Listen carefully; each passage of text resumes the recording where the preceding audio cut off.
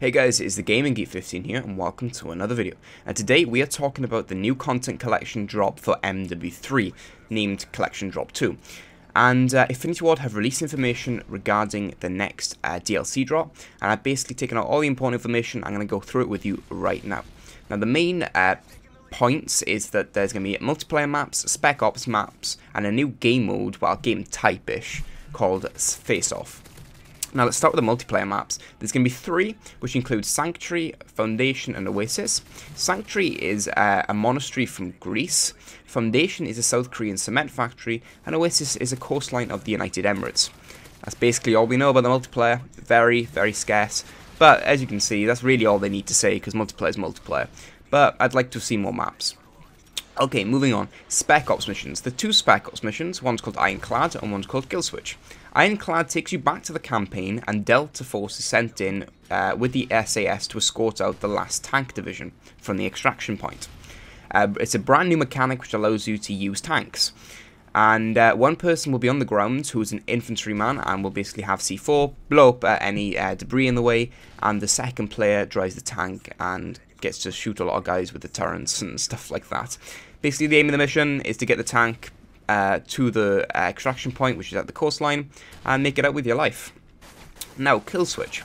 Kill switch takes place in the Russian docks, and one player works on the ground to get through the docks and ends up at this sort of EMP detonation area, while the second player is a sniper with um, a thermal scope, and he'll be overlooking the whole map and killing any enemies that will be in your way to help you out.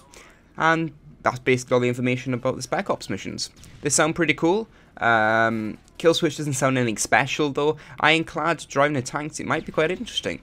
And uh, I, it was something that was missing from the uh, original campaign. Now, this next uh, thing, Face Off, which is a uh, we're calling it a brand new game type for MW3 multiplayer, they've been talking quite a bit about it. And uh, basically, what it is is uh, all the maps that are included with Face Off are designed so that you never really have to go very far to reach an enemy. And that's going to create a lot of close quarter combat and going to keep you in that action.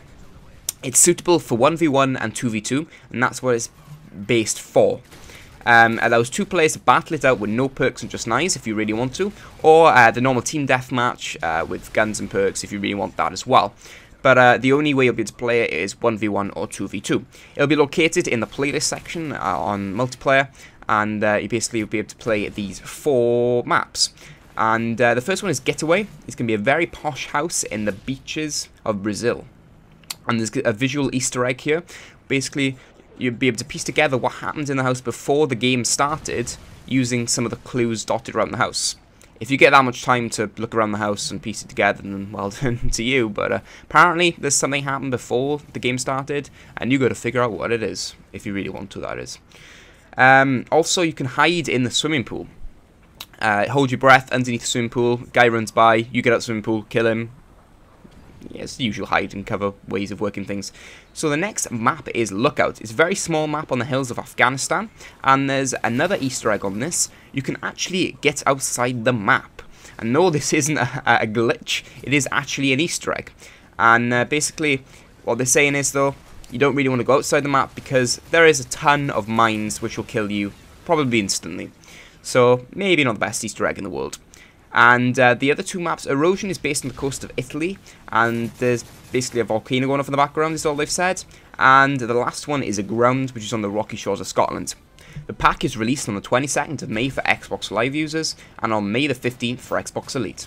Thanks guys for watching the video. If you did enjoy, don't forget to subscribe and like the video, and I'll see you with another one very, very soon.